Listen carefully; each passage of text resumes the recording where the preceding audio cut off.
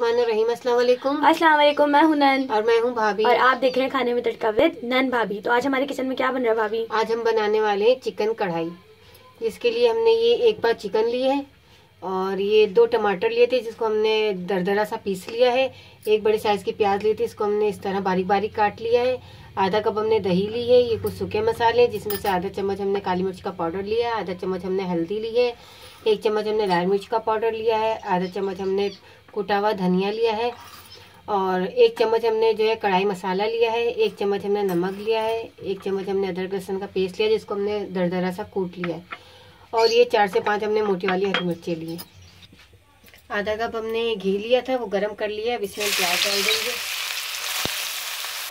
प्याज को हमने थोड़ा सा सॉफ्ट किया है सिर्फ़। अब हम इसमें अदरक लहसुन डाल देंगे इसको थोड़ा सा फ्राई करेंगे। फ्राई हो गया अदरक लहसुन भी हम इसमें चिकन डाल के इसको हम अच्छे से भून लेंगे इन सब प्याज और अदरक लहसुन के साथ।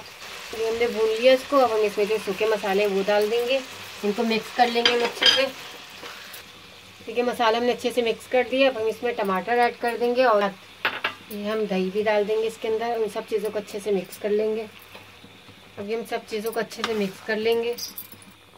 हमने सब चीज़ें मिक्स कर ली इसको। अब इसको हम 10 से 12 मिनट कवर कर देंगे। हमने कोई पानी वानी नहीं डाला टमाटर और दही के पानी में ही गले गलेगा ये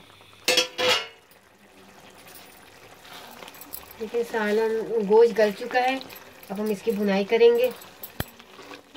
मिर्ची हमने इस, इस तरह जो है बीज में से कटिंग कर ली है।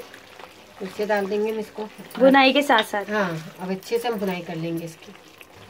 देखिए बुन लिया हमने इसको अच्छे से और ये बिल्कुल तैयार है। चूल्हा हम इसका ऑफ़ कर देंगे। और बनाइएगा बहुत पसंद आएगा आप लोग को इसको। पराठे के साथ खाएँ रोटी के साथ खाएँ। जैसे मर्ज़ी आए आपको जैसे पसंद हो आप वैसे खाएँ इसको। ठीक है। और पसंद आए तो ज़रूर बताइएगा और हमारे चैनल को सब्सक्राइब करें लाइक करें कमेंट्स करें। और अपनी दुआओं में बहुत याद रखिएगा। मिलते हैं अगली वीडियो में तब तक के लिए अल्लाह हाफिज। अल्लाह हाफिज़।